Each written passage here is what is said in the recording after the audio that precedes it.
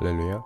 매일 성경과 함께하는 오늘의 묵상 노트 말씀은 요한복음 14장 22절부터 31절 말씀입니다.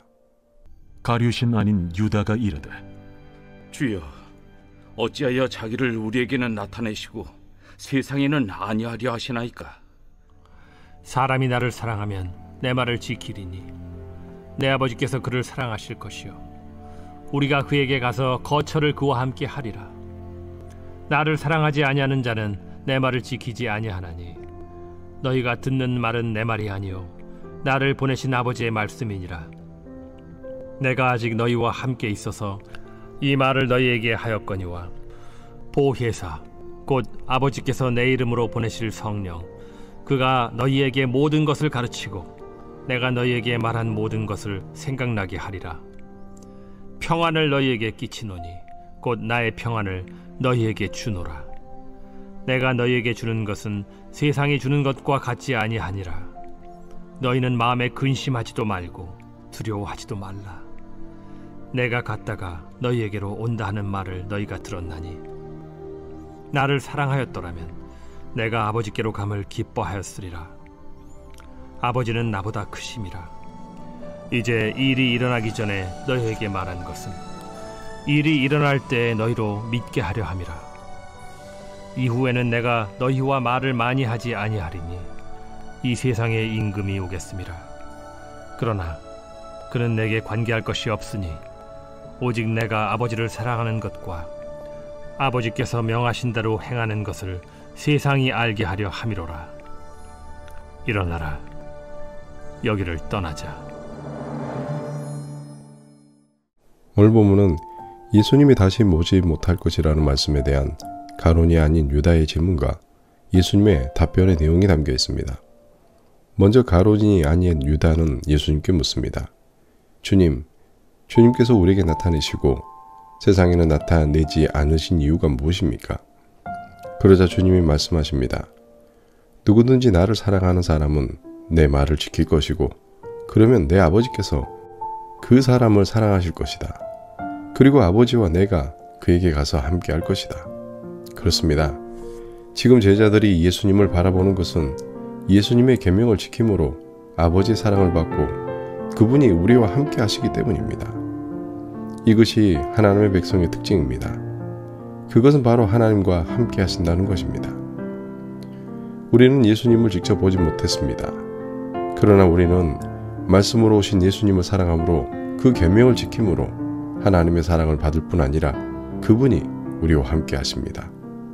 그렇기 때문에 우리가 그분의 은혜와 사랑을 누리지 못하는 것은 그분을 사랑하지 않기 때문이고 그분의 말씀을 따라 살지 못하기 때문입니다.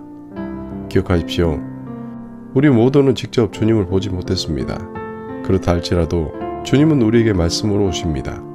이 말씀은 이 모든 일을 작정하신 하나님의 뜻입니다.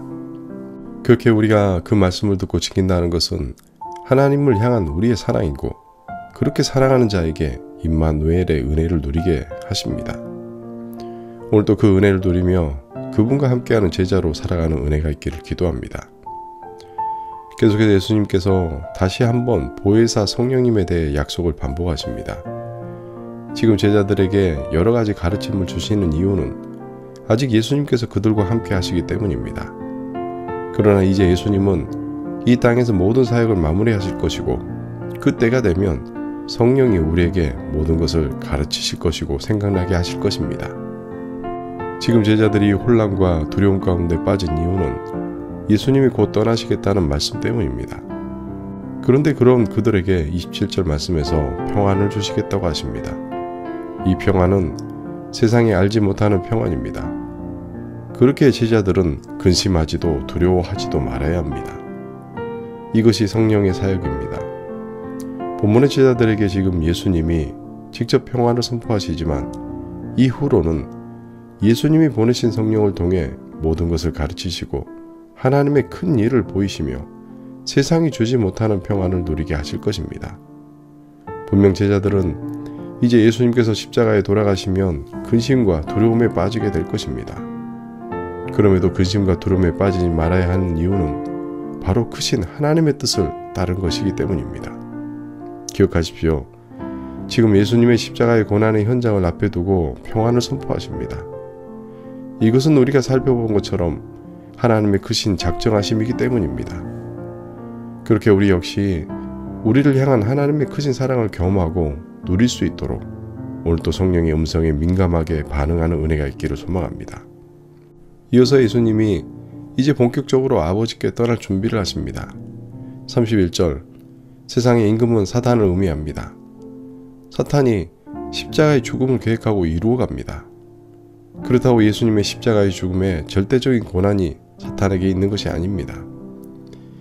이 일은 하나님이 우리를 위한 구속 사역의 일부분입니다. 그렇게 십자가의 고난과 죽음의 현장보다 예수님께서 철저히 하나님을 사랑하고 그분의 뜻에 순종함을 통해 이루어 가실 일들을 믿음의 눈으로 바라보길 축원합니다. 이것이 십자가의 길을 걸어가는 성도의 자세입니다. 분명히 십자가의 길은 어렵고 괴로운 길입니다. 그러나 주님은 온전히 그분이 보내신 아버지 뜻대로 순종함을 통해 이루어 가십니다. 그렇게 성도된 우리 역시 순종함을 통해 하나님의 뜻을 이루는 믿음의 결단이 있기를 소원합니다. 말씀을 마무리합니다. 지금 예수님은 마치 어린 아이를 전쟁터에 두고 떠나는 아버지처럼 제자들에게 당부합니다. 이것은 얼마나 제자들을 사랑하는지 단적으로 보여주시는 것입니다.